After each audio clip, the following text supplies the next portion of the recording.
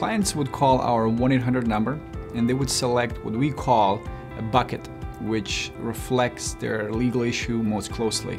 Our philosophy here at Elder Law of Michigan is to look at a holistic approach to dealing with our clients. And to do that, we've brought together a phenomenal team. We've brought together social workers, uh, attorneys, people who specialize in economic benefits and economic security issues. And on top of that, to keep them safe, we've also built an elder abuse prevention program. It's an amazing place to work at. It's an amazing place that provides a much needed service to seniors. I think that serving a segment of a population that is most vulnerable, which is the low income senior, is the responsibility of every attorney. Here at ELM, our philosophy is really to work with our senior client to figure out what is best for them. You know, I talked to her one day, three days later, I was in her home. She had this big old hickey on her head. I was like, What happened? She's like, I fell. She said, But I'm always falling. So I'm like, Well, who have you told? and she said, I didn't tell anybody. I said, Well, while I'm here, call your doctor, let him know that you're falling. You need somebody to help you. So she did. But she hadn't thought that she could do that and somebody would respond.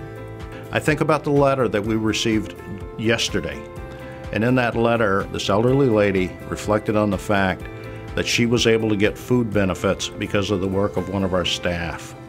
And she closed her letter with a PS, and the PS was simply, I love you. And for me, that symbolizes the dedication of our staff, that symbolizes for me the work that we do every day, and that is my motivation to come in every day. They don't have a voice, and we're here to be the voice for them. I think it's had a humongous impact. I think it's an impact that probably is not measurable in dollars and cents, but it's immeasurable in the, in the benefit.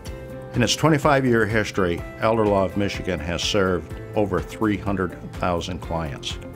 That's 300,000 people that it would not have had the assistance would not have had the resources, would not have had a way to make their life better. We, we are Elder Law Michigan.